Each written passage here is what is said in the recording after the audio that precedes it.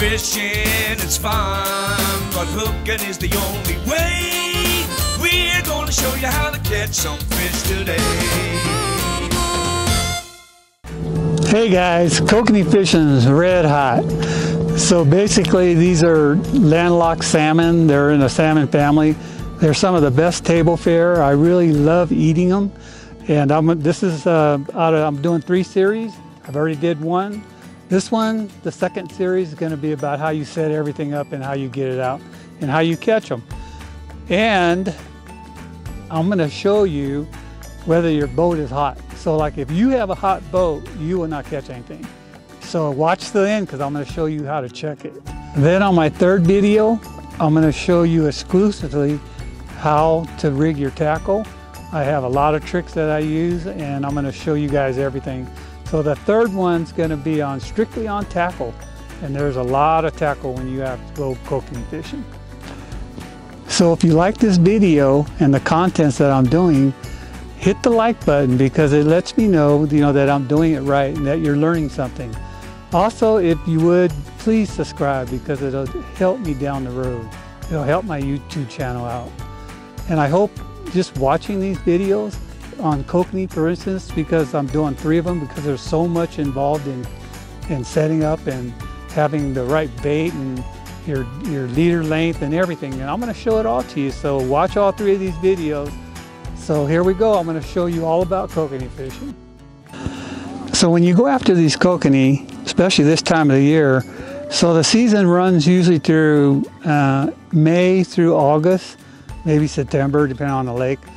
But you could come out here right now and you don't really need a downrigger, but I do have them because you will need them eventually. So one of the things I do is I use lead core line. And um, basically you don't have to have any fancy stuff. You just put this thing out and you'll be able to catch fish. And then when the fish move down deeper, then you're gonna have to go to the downriggers. So let me show you exactly how I do this. So this is a lead core setup. I basically like to use a glass rod that has a lot of flexibility to it. And I use 12 pound test lead core because the lead core comes in different pound test line. This is lead core. Every 10 yards it has a different color so I know how many colors I'm going out.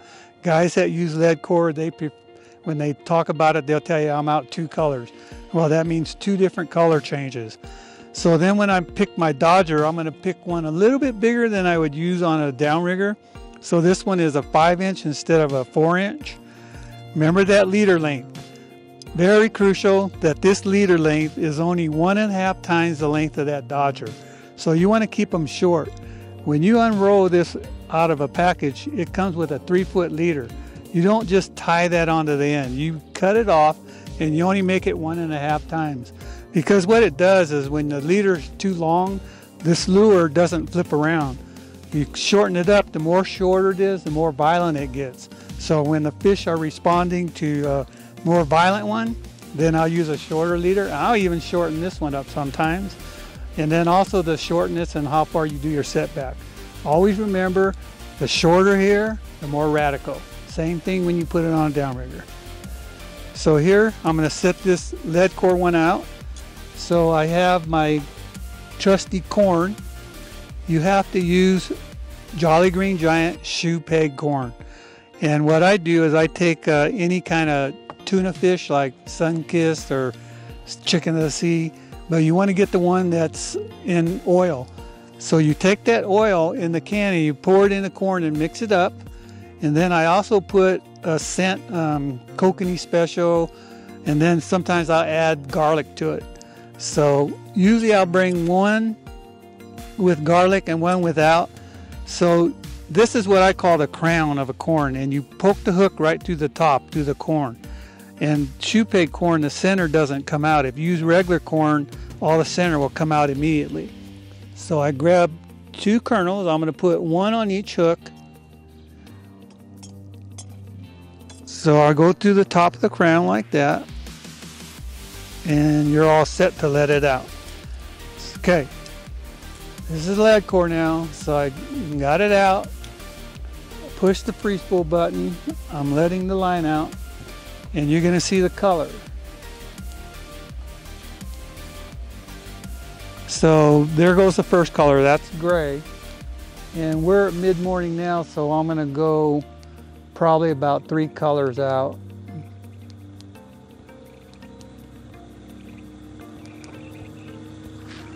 So we're coming to the second. So each color that goes out, I'm getting probably around six to eight feet in depth. So me going out three colors here, I'm gonna be out probably around 18 to 20 feet deep. So I see that third color go out, I lock the reel, I stick it in here in the rod holder, and you're gonna see that rod tip. You watch that rod tip, that's how I know how fast I'm going. You wanna troll about 1.2 to 1.5. So with that Dodger that I have on there, you see how that tip is bouncing around. That's how I know if I got the correct speed that I'm traveling. I want that thing to be bouncing. So you're seeing that tip doing this. So I know my Dodger is kicking like this. So I know I'm getting the right movement out of it. So that right there is perfect.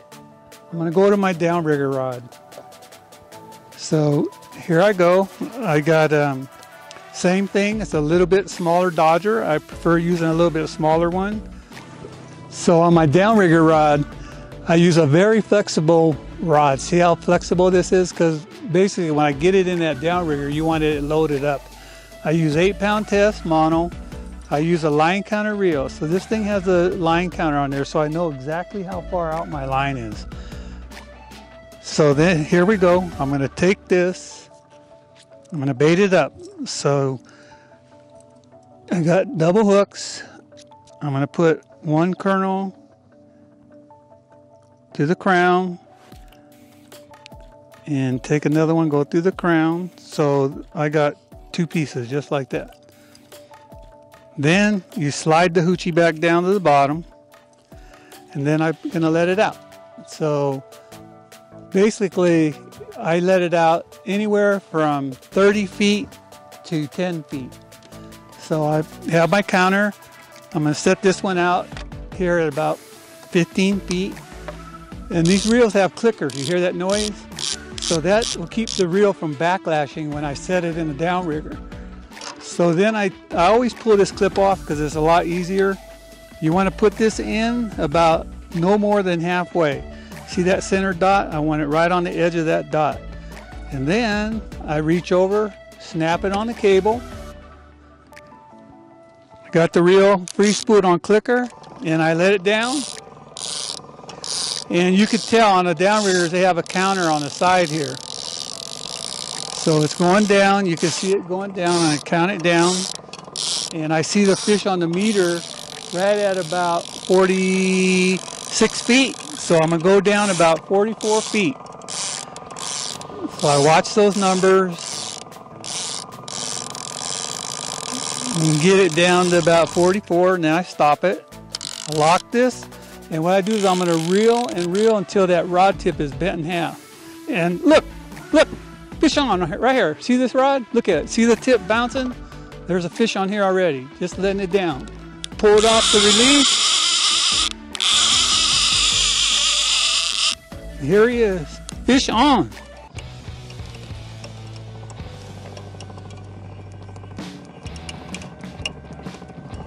Well, I got one already. Just set it down. I couldn't have had that thing down for a couple seconds. Fish on. Here it is.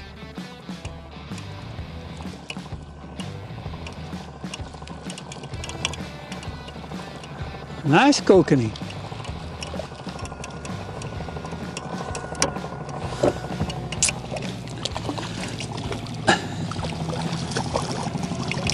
Usually you want to use a net when you're landing these things so I bring it up. The mouths are real soft, so when they, a lot of times when you hook these things, they come off real easy. So they have a real soft, tender mouth to them. And see this guy's eyes, see how they're pointed down? So he's a down, he feeds going downward. Trick. God, that was quick. Oh, fish on! Oh, look at that, another fish on! No time to do nothing. This is action is just crazy. I mean, you could come up here in an hour you'd be done. You'll be catching, you'll have your limit already. It's that quick.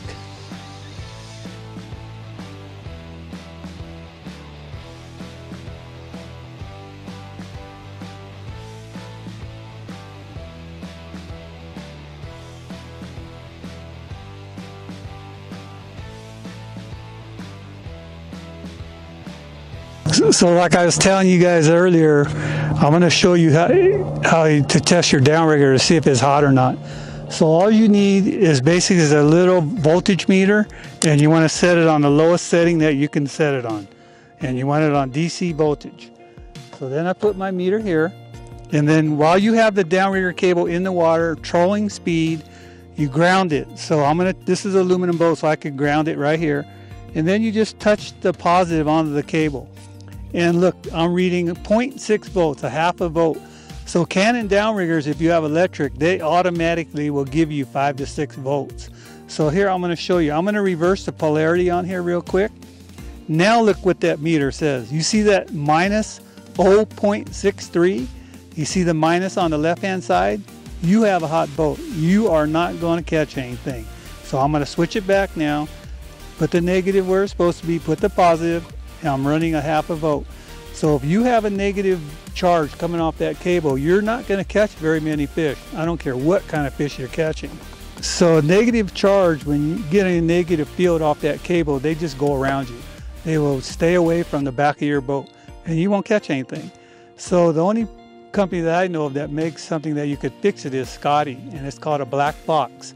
You put that on, it actually goes, there's an end that goes around, the cable travels through, and there's a box that you control, and you can control exactly how much voltage coming off your line. So, but if you have a Cannon Electric, you have no problem. The other downriggers, and this could also happen on a manual downrigger. Just because you have a manual, you could still have a negative charge. So get it, have a little meter like this and test it, and you, at least you know that's not your problem because you're not catching any fish. Could be your tackle, could be your corn. Oh, nice fish. Here we go. We just had a double. So you guys need to get your butts out here and start catching some craw, some kokanee. And they're very good table fare. And this is the time of year to do it. So just get out there. I'm doing an English survey today, and okay. I wanted to know how you guys would rate your experience fishing today, one to five, five being the best. Uh, ten. Ten? Easy. yeah, you we guys, had a great day. Yeah, good day out there. Yeah. Was was the bite hot? Were they? Oh yeah. Yeah. Two, three on all of them. Yeah. Really? That's that's pretty good. I mean, yeah. and how would you guys rate the number of fish you guys caught? One to five. Five being the best. Number? Yeah, like qu quantity. Quantity? Uh, 15. 15? Man, you are giving it up. and what about size of fish? How would you rate them? Mm, 14 to 15. Yeah? You're loving these kokanee, huh? Cool.